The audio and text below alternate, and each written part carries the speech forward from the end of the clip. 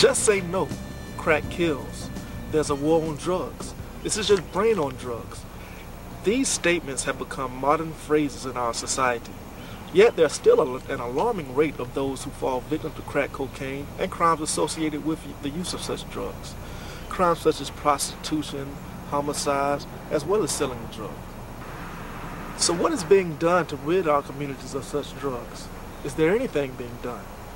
Is there anything that you and I can do to help? Today we're going to take a look at some of these issues and talk to some of those directly involved in an effort to aid in the solution to the war on drugs. How did you first get started using crack cocaine? Uh, my neighbor, my next door neighbor. I was it was my birthday and we were drinking and everything. And when I drink a lot, I tend to try about anything, do anything. And what happened? She, um, well, when we first started smoking, she had rolled up this aluminum thing on a pencil, and then made a little. She bent it, put some ashes in it, and put this little white, well, crack cocaine on it, and we hit it. And how did you feel? Uh, well, at first I really didn't. I really couldn't tell a whole lot because I was kind of drunk.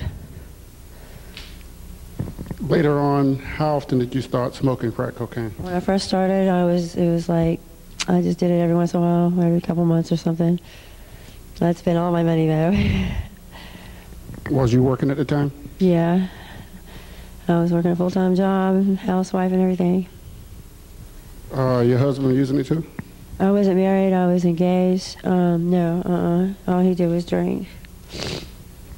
Uh, how, uh, you say your friend introduced you to it? My next door neighbor, she was a friend girl. She was throwing me a birthday party.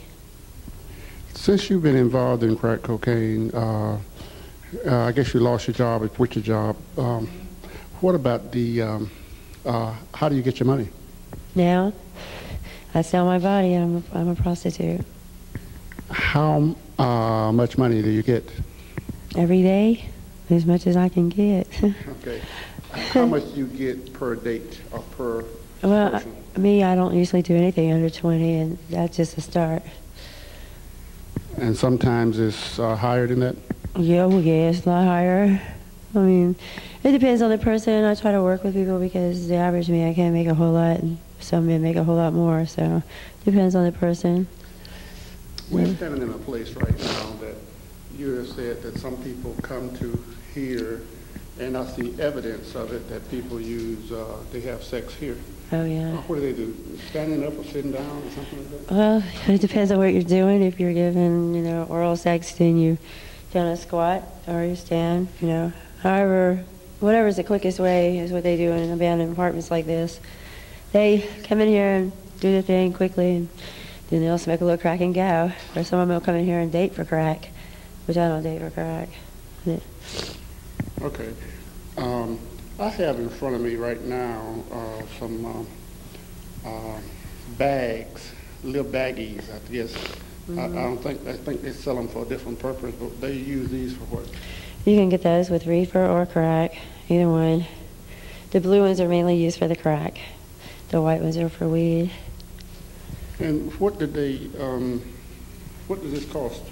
Well, something like the blue bag is probably about ten dollars, and the nickel bag of weed is like five dollars. Color coded, I see. yeah. Um, how do you smoke crack? I, I was just talking to you earlier. You were saying that they used to use cans, but they don't use cans anymore. What do they do? They use glass stems, copper stems. Some even use glass bowls and stuff. But the easiest thing to tote with you would be a glass stem or a copper stem. The glass stem, where do you get it from? You can buy it at any convenience store, just about. It's a little rose that comes in a glass tube. You mean the little things that I see about the size of a cigarette with the rose inside of it at the convenience stores? That's what it is, a glass stem. And then they take and get Brillo. It's called Chore Boy, and they put it in. They burn it, put it in. And smoke the crack. The easiest, fastest way. You can hide that stem anywhere, just about. hmm Um, you've uh, tried to quit using crack several times. Times. What happened? Well, the longest I had quit was two years, and then I went right back out to it. Basically, I guess because I didn't care anymore. Uh-huh. So, um, how many times have you been in into places like River Edge or places like that to get cleaned up? I've been in detox a few times, and I went through a treatment once. Well, it wasn't really a treatment; it was a 30-day program. And when you get out of there, you are okay, but then you go right back on track again. Well, basically, I do because this is I don't have any family or friends here, so I kind of just this is where I make my money, quickest money for a place to stay. Basically, when I first started, and then when I just started doing the dates and stuff, then I started smoking.